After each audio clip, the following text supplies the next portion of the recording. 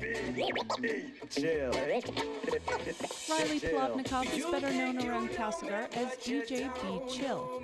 The young music producer got an interest in the art at a popular local festival and ever since has been making it his goal to turn his craft into a career. I'd probably say the biggest thing that made me want to get into that would be Shambhala Music Festival. I mean, after the first time I went, it was a pretty big change in my life and it it made me want to become more artistic and it also made me believe that I could do it.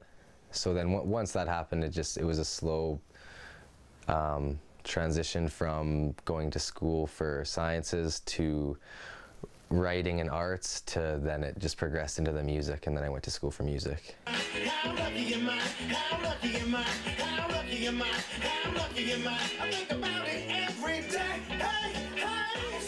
Chill, the best part of being a DJ is getting lost in the music. When you kind of reach that point of doing something that you love, you actually want to do it on your free time.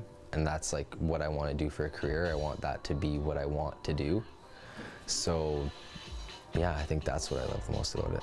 Plovnikov recently had his first performance at the Kootenay Festival, and from the smiles on everyone's faces, I think it's safe to say that it won't be his last. No, I definitely was having a good time. I mean, I, I practiced that set so many times, and, you know, I was pretty proficient at it, and there's definitely some mistakes that I did make, but uh, I think I was the only one that noticed. But, you know, it went really well, and it was a, it was a good time. Riley hopes to one day turn his pastime into his full time job, making a career out of making music. That's a pretty big question. I think. I think the, sh the shortest term goal when it comes to my music would be to sustain myself with it. So I can, I wake up in the morning and I work on my music for my day job, and then I can go and do other things. Like I do my music as my secondary job. I work a full-time job and I want to switch that and have music be my full-time job. And for all the young aspiring DJs out there?